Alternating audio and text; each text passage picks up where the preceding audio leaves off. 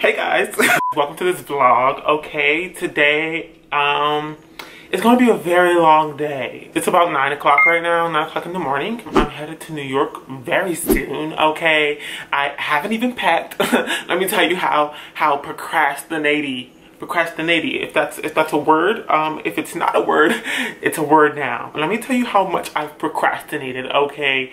I'm leaving in just a couple of hours. Uh i'm leaving around my bus leaves from a whole nother city at 3 o'clock and it's 9 a.m right now um i went to go work out and i went to go eat and i did a, a bunch of stuff you know i woke up really early today thinking that i would just you know get into packing but your boy decided to go for a run, do all this other stuff, you know, start cleaning off tables. He ain't got no business cleaning off.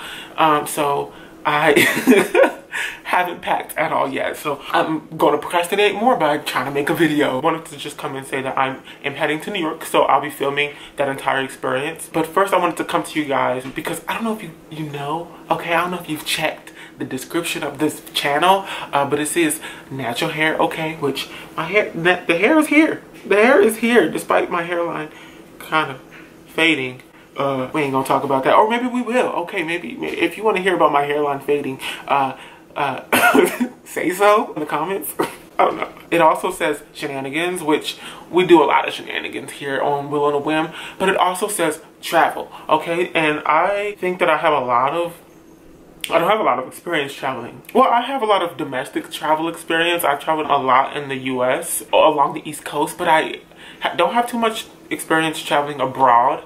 Um, but I did make a trip. Okay, I took a whole trip to Europe by myself on a whim. Hence, Will on a Whim. I literally went off to Europe by myself. I stayed there for a month okay and i had no clue your boy had no clue what he was doing um, but i learned a lot okay, from that experience. Um, and that's what I'm to be talking about today. I'm to be talking about um, what I learned um, in terms of packing. Packing is like an essential skill. Okay, if you want to be, if you don't want to be looking a hot mess, okay, when you're traveling, when you're walking through the streets with your bags. When I was going to Europe, I made the mistake of taking like a gigantic suitcase. I was there for a month, but traveling alone in Spain, okay, with a huge suitcase. I literally went to JCPenney's and I was like, I need the biggest one. Somebody point me to the biggest one and I and I bought it. Which was one ridiculous because huge pieces of luggage, if they're not crappy, are likely to be very expensive. And your boy ain't got that cash money, okay? Funny story, that luggage that I actually bought for like way too much money broke. And the airport gifted me like this, this this new one, um, which is actually pretty nice. And it's, it's a bit smaller, but it's definitely a bit sturdier. So that was a blessing in disguise. Uh, so I actually have some tips. I'm prepared today. I have some tips uh, on how to travel, specifically in the context of traveling to New York in the winter. So let's get started, shall we? All right, so first things first, it's winter time. So you're going to need to not play around. Okay, I know you want to look cute in the, with these fall fashions in New York, but honey, uh, forecast is telling me 50, 45, 30, like, so you need to not look cute, okay, with things like this, which is this cute bomber I got from Savers. Um, if you don't know about Savers, Savers is a thrift shop. They usually have a lot of good things in stock. Um, and so I got this like cute little bomber along with tons of other jackets. I like continue to buy jackets for whatever reason. Um, but I got this cute bomber and it's very thin, okay? This is like, I could wear this in the summertime. This is not gonna work, okay? In that brisk brick city chill over there in New York City.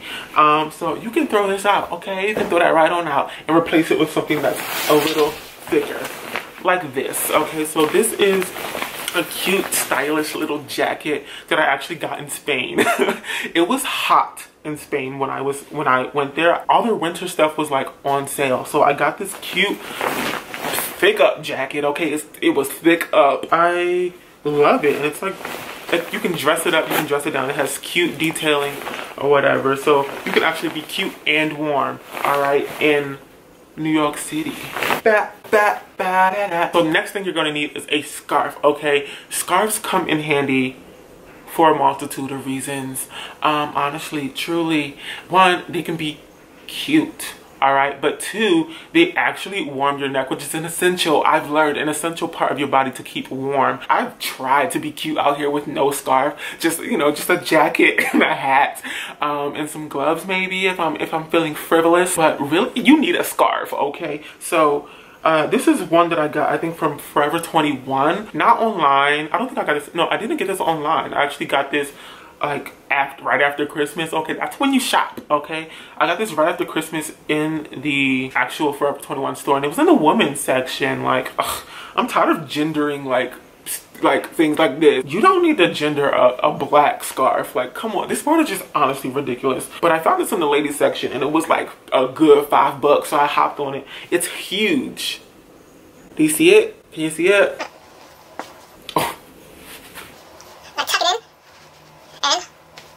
Voila, I'm warm out here in these New York cities.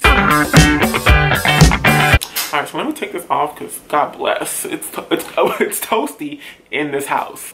Honestly, I think I'm allergic to something in that scarf because every time I wear it, like my eyes start to itch. Next up, I have this coat, okay? This is also a really nice coat. I got this from JCPenney's on a huge sale, okay? They had like a 50% off, a 50% off, a 50% off sale. And I got this jacket for like 30 bucks um, when it was like originally like 300 um, which I don't, I don't think it's like worth $300 anyway. I could never bring myself to purchase a $300 jacket. So I picked this up because it was, I lived in Providence, Rhode Island, and I don't know if you guys know, have heard about homegirl homegirl providence um but she attacks you in the winter time she will throw snow at your face okay? So you need to have like a hoodie right? A nice hoodie that can protect you from the wind and whatever else that comes your way. I don't new york sometimes gets a bit you know what I mean. Like New York can, you know, you just gotta be protected out there. This jacket is a beaut, okay? She's a beaut. Beautiful color, okay? It's serving me,